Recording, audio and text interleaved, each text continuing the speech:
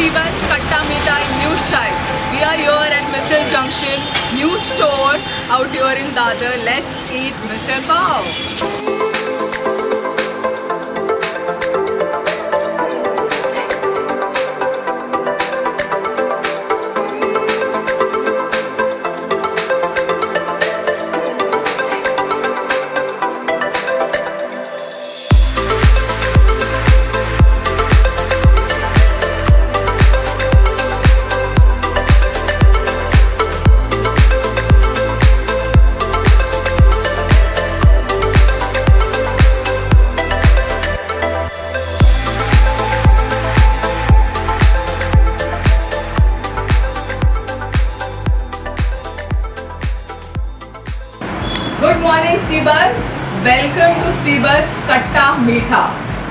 Talk show आज आपल्या बरोबर आहेत संजय मोने सर नमस्कार.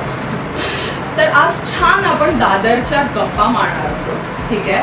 आणि यावेळेचं सिबस कट्टा मीठा स्पॉन्सर केलं आहे मिसळ जंक्शन यांनी. तर चला गप्पा मारूया. सर आपण एक मस्त असं रॅपिड फायर राऊंड बरं. ठीक आहे? तर दादर म्हणजे दादर म्हणजे Dadar. Filling the blanks Dadar म्हणजे दादर म्हणजे दादर.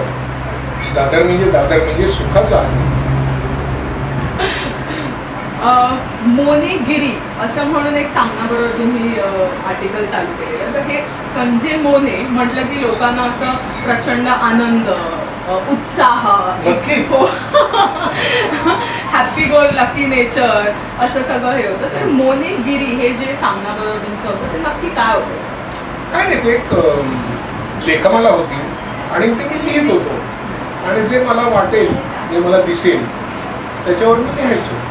आणि गंमत करायचो म्हणजे फार गंभीर गंभीर काय मी मला होताही येत माझे नाही. आणि नाही मला होता येत नाही. म्हणजे की मला एखादं म्हणजे फ्युनरल चाललेलं असेल तर लोकांना असं वाटतं.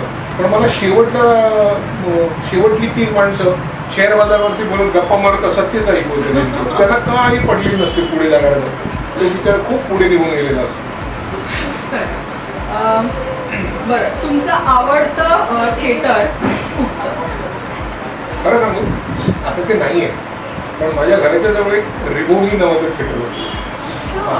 माहीममध्ये तिथे ना फरशी नऊ असे छोटे छोटे हे असतात ना त्याला आपण काय म्हणतो? खडी खडी म्हणतात ते मोठे मोठे गोटे गोटे.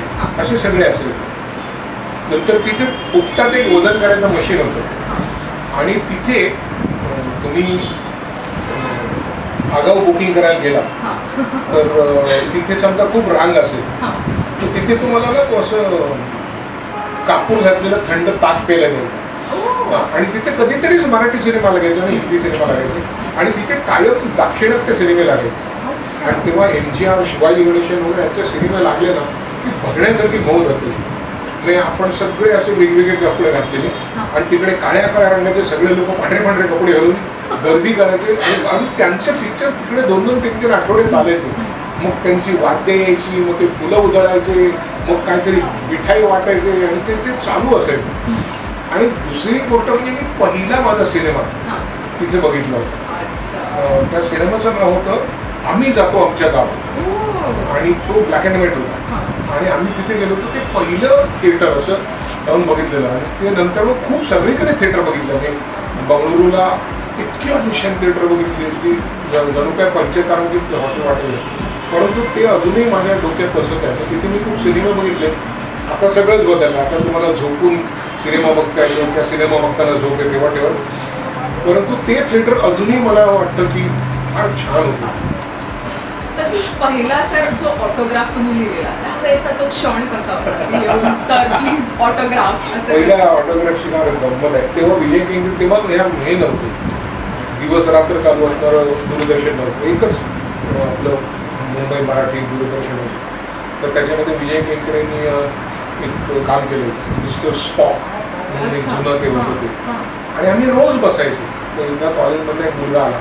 आणि तो सही ना मी विचारही नाही केलाय की ह्याने माझं काय नाटक बघितलं असेल का नाही नसेल. मी सही दिली त्यांनी बघितली. पहिली सही. ती बघितली अशी. ती बघितली आणि तुम्ही विजय किंकरे नाही? म्हटलं नाही. राहू दे राहू दे. आई म्हटलं सॉरी सॉरी सॉरी टाकली आणि ही मी दिलेली पहिली सही. पहिली सही. मस्त. मग अं, पहिल्यांदा मुलीला हातात घेतला तेव्हाचा जो क्षण होता. काय व्हायची मुलगी माझी मुलगी हा हा. माझी मुलगी. जुलियाला. हा नाही तेव्हा काय झालं होतं की सुकन्याचं ते सिझेरियन करायला लागणार वगैरे सांगितलं होतं. तर मग मी असा विचार केला की आपण अं, आपल्या मुलीचं नाव जुलिया ठेवू तर मला फक्त म- फक्त मला आमच्या संपूर्ण कुटुंबात मला एकट्यालाच मुलगी हवी. कारण मला सतत भीती होती की तो मुलगा झाल्यानंतर तो माझ्यासारखा झाला. तर माझ्या वडिलांना झेपलं मला नाही झेपलं. मला मुलगीच हवी होती. आणि बाकी सगळ्यांना मुलगा हवा होता. तर मग मी असा विचार केला ठीक आहे मुलगा झाला तर सीझर करून झाला. म्हणून आपण त्याचं नाव ज्युलियस सीझर ठेवू. म्हणजे हा कोण आहे? हा ज्युलियस सीझरमुळे झाला. पण मला ज्युलिया नाव भयंकर आवडतं. एक तर ज्युलिया जुलिया रॉबर्ट्स. म्हणजे जी हॉलिवूडमध्ये पुरुषांच्या स- वर्चस्वाला संपूर्ण सुरुंग लावून ही एकमेव पहिली अभिनेत्री अशी होती की जिला ना सिनेमाच्या नायकापेक्षा जास्ती पैसे मिळायचे. आणि ती फार सुंदर अभिनेत्री होती. आणि मला ते नाव आवडायचं म्हणून मी माझ्या मुलीवर जुलिया मी जेव्हा तिला हातात घेतलं तेव्हा त्याच्या तिचा जन्म झाल्यानंतर मी इथे नव्हतो मी दुबईला गेलो. आणि मी परत आलो.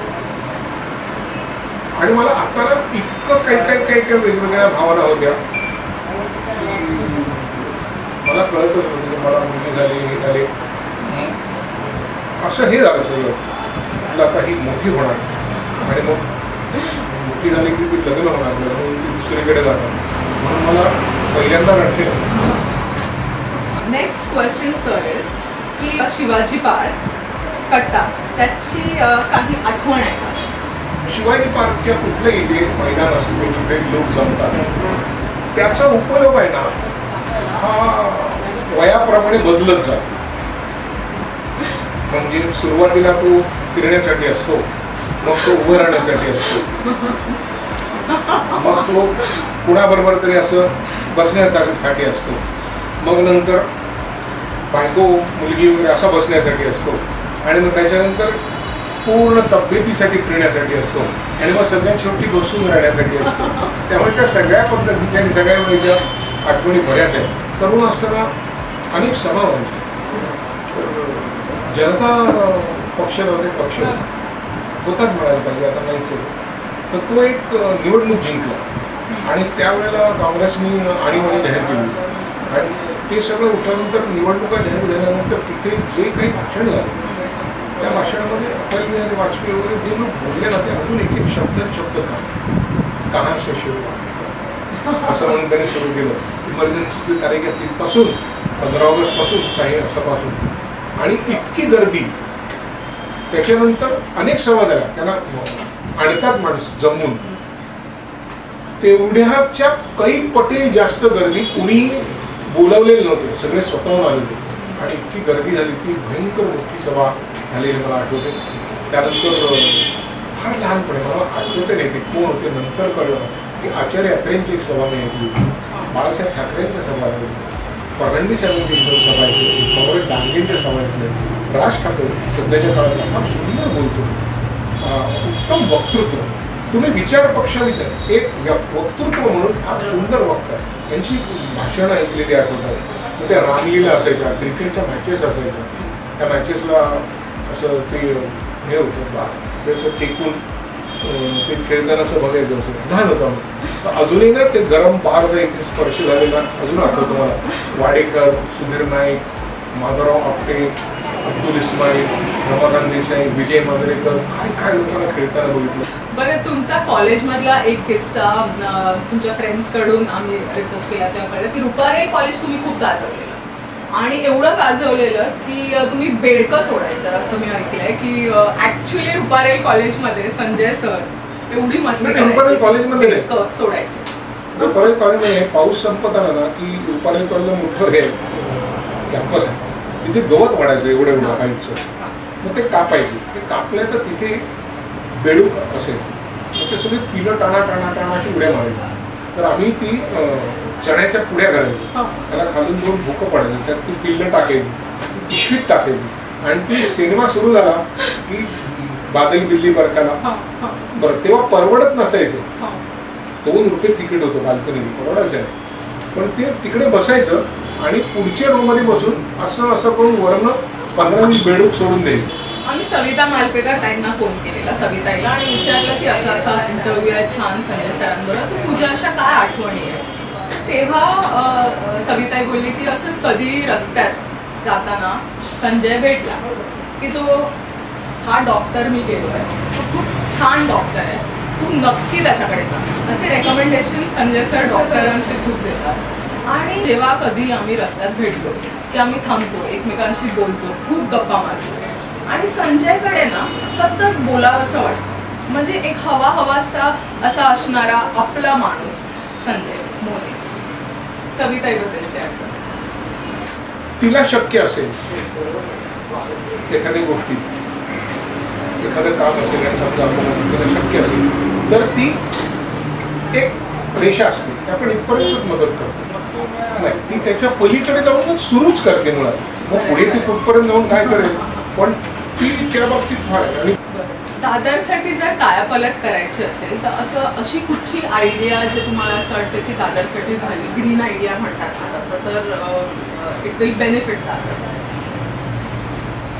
आपण जर दादरमध्ये बघितलं तर दादरचे बऱ्याच ठिकाणी फुटपाथ फार रुंद आहे पण ते कागदावर बाकी सगळीकडे उभे असतात विकत आणि त्यांनी सगळ्याची वाट माझं एकच म्हणणं आहे तुम्ही नका घेऊ. घरातल्या बायकांना माझं सांगणं आहे की तुम्ही नका घेऊ. किती दिवस तो फुकट विकत राहील? ना नका घेऊ तुम्ही.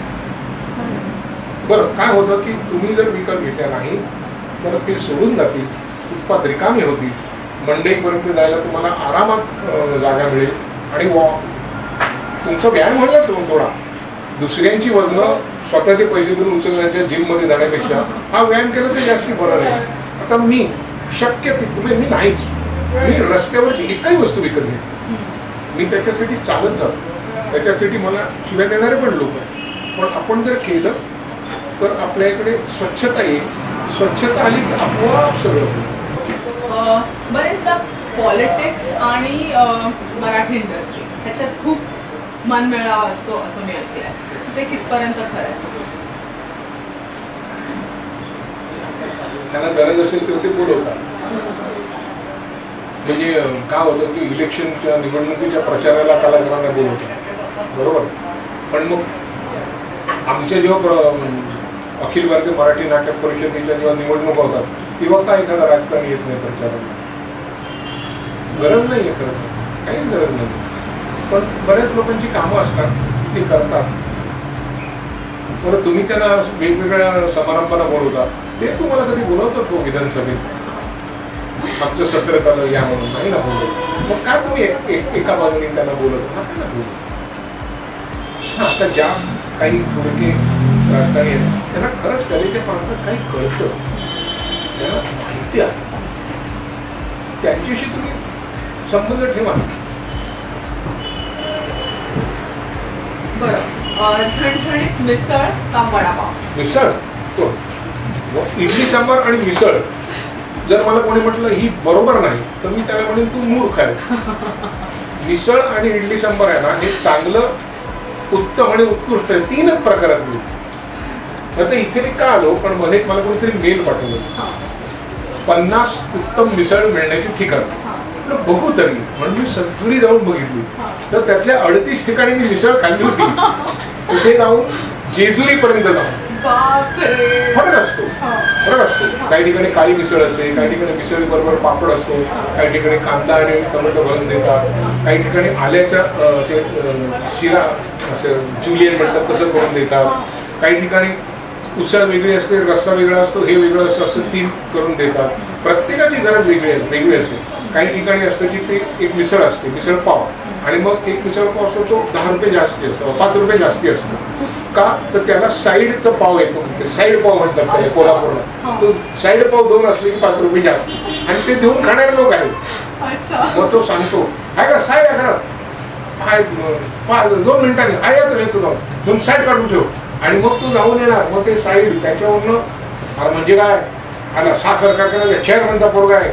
इथपर्यंत राडे होतात ते साईड पॉझिटिव्ह पण मजा असते मिसळ खाण्यात. मिसळ म्हणजे ना तिखट नसेल. बंदच करायचं दुकान त्या माणसाने. गोड मिसळ विकत असेल तर. त्याला शिक्षा करायची. उद्या तिखट पेढा बनवाल का तुम्ही? हा. नाही ना. किंवा खारट बासुंदी बनवाल का? नाही नाही. मग तसंच तिखटच पाहिजे मिसळ. मिसळ कशी आहे असं विचारायला लागतं का म्हणून? तिथून कळलं पाहिजे चांगली आहे बरं चिकन की मटन खायला नाही खायला लागतंय का? स्वतःची इच्छा आहे काय काय पाहिजे ते खा म्हणून. नाही कारण काही वेळेला असं होतं मटण केलंय खायला लागेल नाही पण मला शक्यतो फिश आवडते जास्त. स्पेशल जास्त. Thank you so much sir सिबस कट्ट्यावरती मी पण आभारी आहे आल्याबद्दल. आणि मला नवीन मिसळचं ठिकाण दाखवल्याबद्दल. आणि खूप मजा आली. संजय मोरे सरांबरोबर आपण आहोत. आणि मस्त गप्पा मारल्या. I hope you all like it please subscribe सिबस कट्टा बेटा